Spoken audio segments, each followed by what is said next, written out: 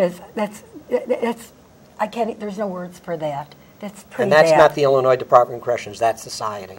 And that's here in Illinois that Yes. you're talking about.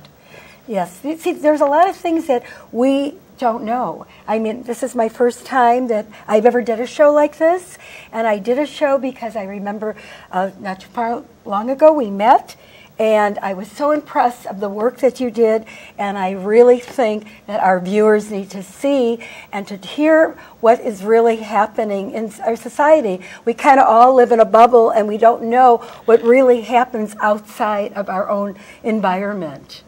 And I really appreciate Rabbi you coming out, and and I and, and believe me, I really appreciate Sam that you are here. I mean, to talk about yourself, and this is really hard for you to do. I know it is because this is not something that is easy. And I really appreciate you coming on the show and talking to our viewers, and maybe they'll have a little different opinion about what jail is, about the prison system, about the prisoners that do come out and try to, you know, they're, they're rehabilitated and really want to start a life for themselves. There has to be a life outside, and people need to know that there, it's okay to hire people like you. I mean, I, am very impressed by you. If I was a corporation, I'd hire you. Thank you.